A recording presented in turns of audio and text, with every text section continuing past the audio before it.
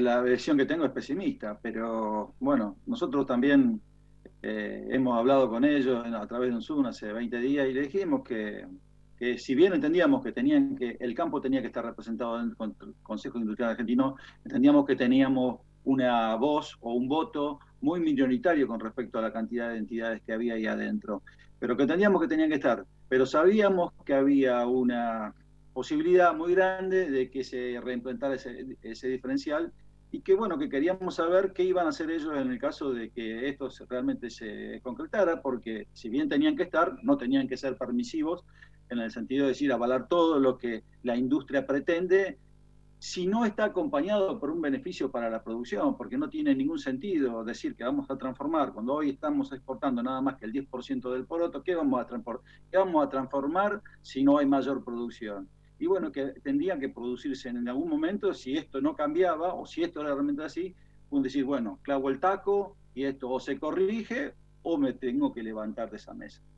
Ahora, visto lo que el gobierno convocó a una reunión para el 14 de octubre, eh, ¿crees que es el momento de irse o hay que esperar un poco todavía?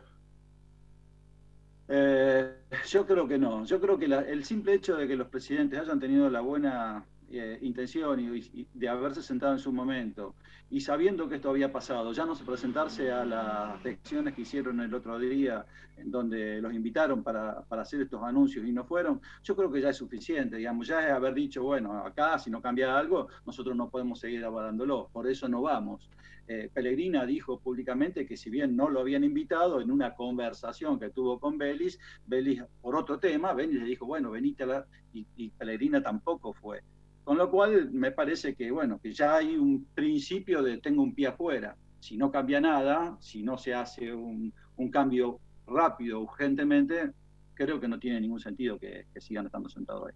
Pero por eso vos lo que decís es, bueno, esperemos al 14 a ver qué pasa y después de ahí tomemos una resolución, pero de alguna manera hay que un poco más. No, si la, si, la solución no viene ahora, y que no va a venir, vamos a ser sinceros, acá no va a haber ningún cambio. Eh, yo simplemente digo lo siguiente, si, la, si, si, si el gobierno o Argentina necesita que se exporten en vez de 65 mil, 100 mil millones de toneladas, estamos todos de acuerdo. Dólares, dólares.